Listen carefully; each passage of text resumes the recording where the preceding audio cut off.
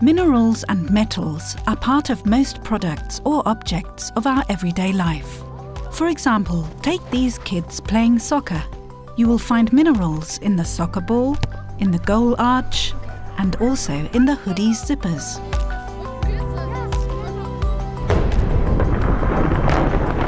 Currently, we get these raw materials from mines that are usually located very far away from Europe, which leads to a supply risk and dependence on foreign markets.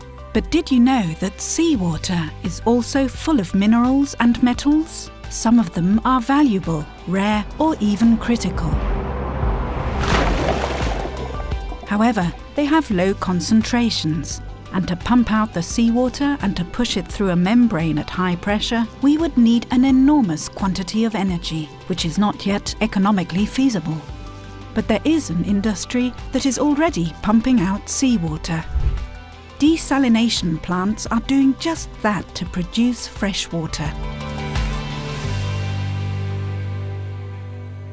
Most desalination plants use what is called reverse osmosis technology, by passing seawater through a dense membrane under pressure. The dense membrane only allows water to pass, obtaining high quality water.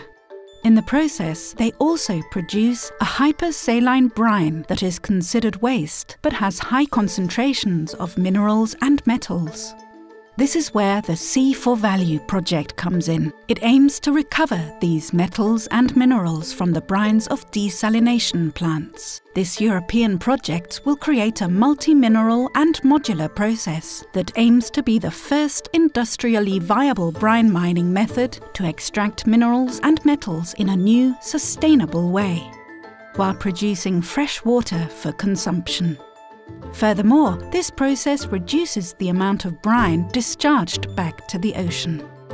It will develop 10 new, highly breakthrough technological solutions in a multi-mineral and modular process for pre-treatment, concentration and selective recovery.